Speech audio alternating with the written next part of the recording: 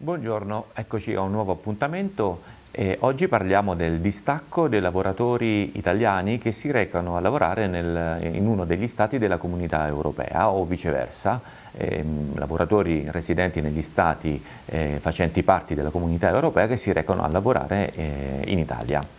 Ma guardiamo nello specifico appunto qual è la legislazione applicabile sotto l'aspetto previdenziale e assicurativo sociale dei lavoratori che si spostano proprio all'interno della comunità europea.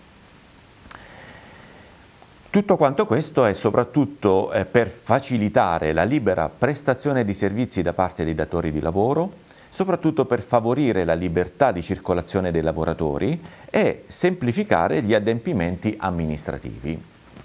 Infatti il certificato di legislazione applicabile, noto meglio come certificazione A1, viene rilasciato soprattutto nel caso in cui un lavoratore si rechi temporaneamente a lavorare in uno Stato membro dell'Unione Europea, diverso da quello di provenienza, oppure nell'ipotesi in cui lo svolgimento dell'attività lavorativa si svolge in più Stati membri.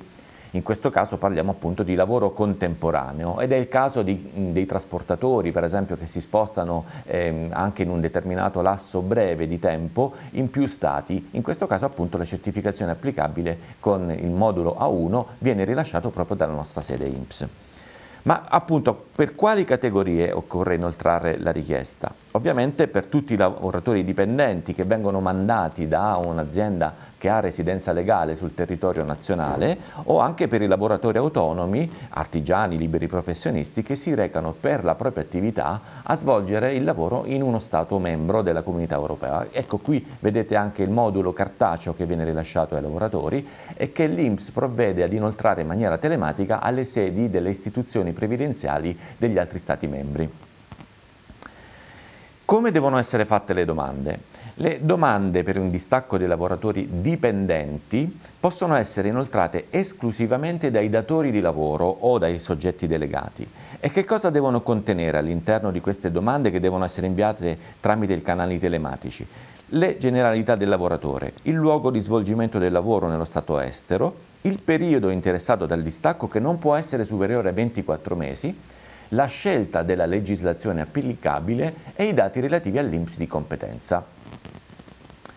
Il modello invece per i lavoratori autonomi eh, possono essere richiesti direttamente dall'interessato e ehm, soprattutto deve essere inviato attraverso i sistemi di posta elettronica certificata o altrimenti una raccomandata con avviso di ritorno o direttamente presso gli sportelli dell'INPS dove c'è la residenza del lavoratore. Ma quanto può durare un distacco? Soprattutto eh, dobbiamo tener conto di un limite stabilito dalle disposizioni comunitarie che è di 24 mesi esclusivamente per le situazioni di distacco di carattere occasionale e temporaneo in un solo Stato membro. Oppure può avere durata illimitata, ossia per situazioni di lavoro in più Stati membri e la certificazione rimane valida fino a quando la situazione del lavoratore non subisce variazioni. Per ogni tipo di approfondimento vi rimandiamo ai contenuti del sito www.imps.it oppure contattare il nostro contact center al numero 803 164. Grazie per l'attenzione, al prossimo appuntamento. Arrivederci.